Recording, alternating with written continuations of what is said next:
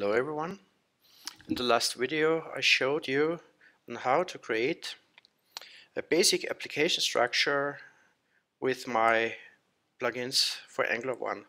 In this video we are going to go a little bit further. We are going to add our first pages. So what are we going to do and how do we do that? First of all we have to look at uh, have to have another look at our application structure. As you can see here we have here our basic application with a main module and a bootstrapping code. And the next step then is to add several submodules. If you go to one of those modules, for instance module 1, we can see that uh, we have uh, an annotation here and we already have references to views. This, uh, this is our main pages. For instance, view 1 is this page here. And if we go to view 1 now, we now see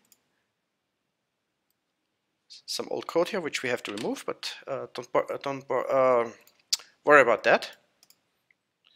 What we are going to do now is that uh, we are going to have a deeper look at this view here. First of all, the view is defined as controller. You also theoretically could use component to be compliant with Angular 2, but for the time being we have controller. The controller has a name, it must have a name, and a template, which can be an external variable which pulls in some multi-line string or whatever, or it can be an inline multi-line string, the method I prefer. Why do I prefer it? Because usually you work on small units, and the units usually have 10, 20 lines of templating code. And if you want to edit, you don't have to jump around in files. What happens if the component is bigger or if the controller is bigger? And you have lots of lots of lines of code and you want to change quickly something in the template. Then we have some new functionality in here, which is also coming from the plugin, which is edit HTML template. This jumps to our template. We can edit something We can save it. And here we are with the changes. The changes really happened here, and the editing happens in real time, as you can see here. But if I edit here, then this template view is closed, of course. But that happens only, let's go quickly to the template. If I edit in the template, for instance, if I change this to MyHello 2, nothing happens here.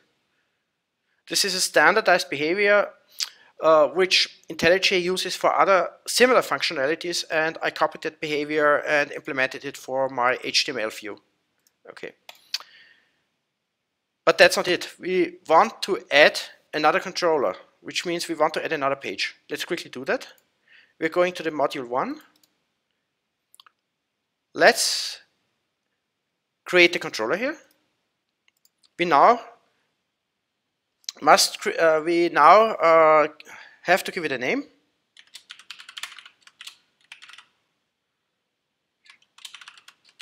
Let's call it another page for me.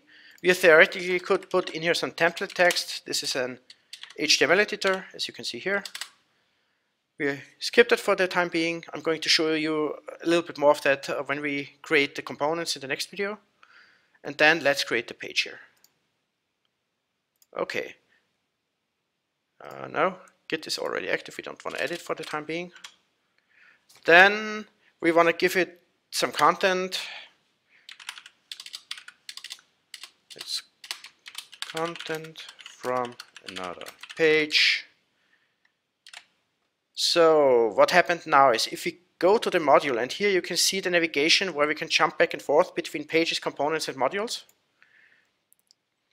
is that the module has been updated with my new controller another page for me.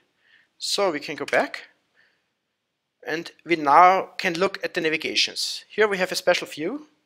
That's this one. That's the navigational view. We can see that we don't have a navigation defined for another page at the moment. So what are we going to do now is create route.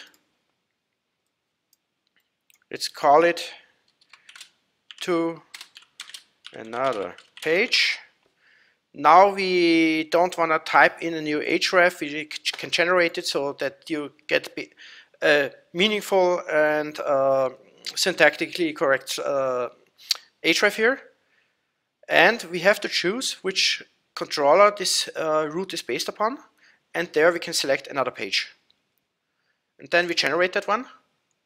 We are getting the message that the new route has been added. So how does it look like now? First, we look at our root uh, at our root view here, and there is the new route declaration. We now can go straight to the route declaration itself, which is this one. We have to reformat it quickly. That's not happening automatically for the time being.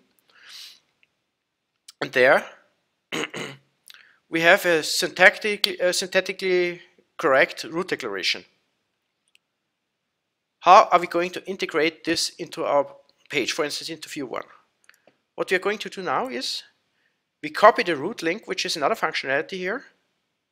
We also theoretically could copy the route key if we want to use that one for different purposes. But for the time being, we just copy the route link into the clipboard. Then we go into one of our other pages where they go to component functionality. And there we're going to drop the new route link in and give it a meaningful message. Go to another page. Now the content is set.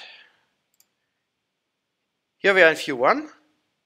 We have the link already and we are in our new page. So that's how you create pages within my new plugin. As you can see, we haven't written any single line of boilerplate code. Everything was generated and nicely integrated into the existing modules automatically. And I hope you liked what you've seen and thank you for watching the video. In the next video, I'm going to talk about creating components. So see you then. Goodbye.